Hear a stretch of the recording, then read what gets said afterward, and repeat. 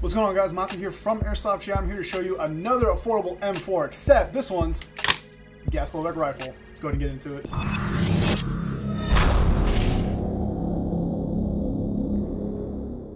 Alright, so the gun I got sitting in front of me is a JG M4 GBBR CQB.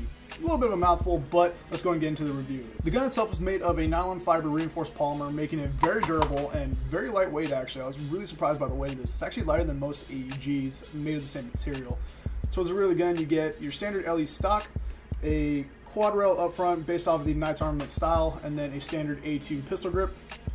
Now, just like any other gas blowback rifle, this is going to be swappable pretty much all the same parts, mil-spec uh, buffer tube, pistol grip, and rail up front. So for those Magpul handguards, any other brands you might want to go with, perfectly fine, no problem there. So internally, the JG M4 GBBR is powered by the Western Arms system. So any of your Western Arms magazines, G&P, King Arms are all going to work in this gun, no problem. My favorite part about this gun is that the price point is incredibly low and it's fully upgradable. So any of those Western Arms slash G&P upgrade parts that we have available are going to drop right into this, no problem. If you're looking into getting into the gas blowback rifle game, this is a fantastic option to get started in it. It's very affordable at about 150 bucks. Magazines are going to be about the same price as any other brand, and it's completely upgradable as well.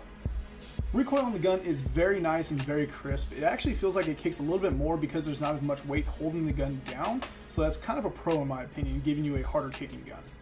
Me personally, I wouldn't do much to the gun, probably change out the barrel and bucking, but you know, that's pretty much what I do on any other gas blowback rifle. Other than that, it's going to be a very solid performer out of the box. I'd recommend using a .25 or 0.28 gram BB for your best performance. Alright, so what do you guys think about the JG GBBR CQB? Personally, I think it's a great addition to the gas blowback rifle market. It's very affordable and it has a ton of upgradability with it. Now, it won't be the most durable because of that polymer body, but it's still going to be a very good performer as long as you don't actually drop the thing. So as long as you take care of it, it'll definitely take care of you. Alright guys, I want to say thank you for tuning in. As always, be sure to like, share, and subscribe as well as hit the notifications icon to be notified anytime we upload brand new content here on YouTube. My name is Michael, this has been GITV. I'll see you on the next one.